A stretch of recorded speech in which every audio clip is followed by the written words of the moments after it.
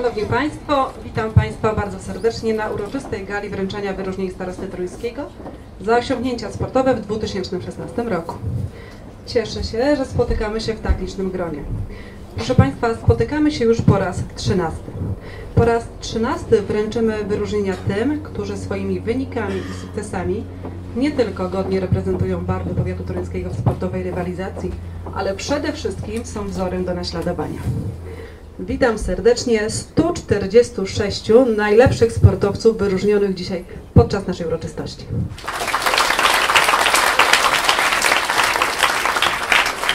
Sport to dziedzina życia, to hobby, ale też sposób na życie, także zawodowe. Y, Jesteście w większości w takim wieku, że pewnie co do dalszej kariery zawodowej trudno dzisiaj mówić, ale na pewno na tym etapie wybraliście sport jako pewnego rodzaju z jednej strony wypełnienie czasu, z drugiej strony być może aspiracje i ambicje waszych rodziców, nauczycieli, wychowawców, ale pamiętajcie, że sport to także oprócz wyników sportowych, to także coś niezbędnego w życiu. To jest sposób na życie, to jest sposób na kształtowanie waszych charakterów. Wszyscy ci, którzy z tym sportem w swoim życiu, już potem patrząc z perspektywy człowieka dorosłego, mieli do czynienia, to zawsze mówią, że sport coś w życiu im zmienił. Zahartował, dał wolę walki, potrafił, nauczył przegrywać, a w życiu to też jest ważne. Nie zawsze się jest zwycięzcą, nie zawsze się staje na podium.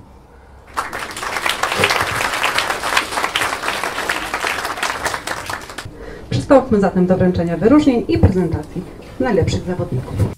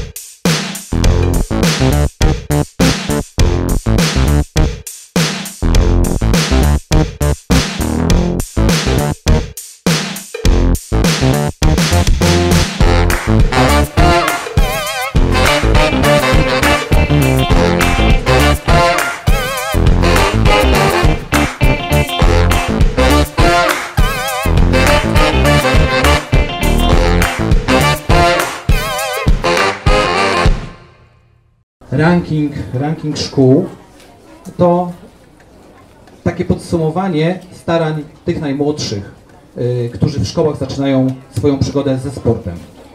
Mam zaszczyt po raz siódmy zaprezentować powiatowy sportowy ranking szkół.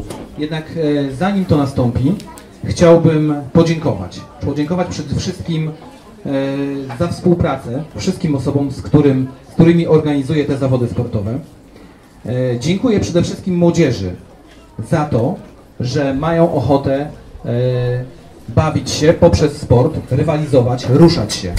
Gorące podziękowania chciałbym złożyć także na ręce rodziców, którzy tą młodzież e, wspierają.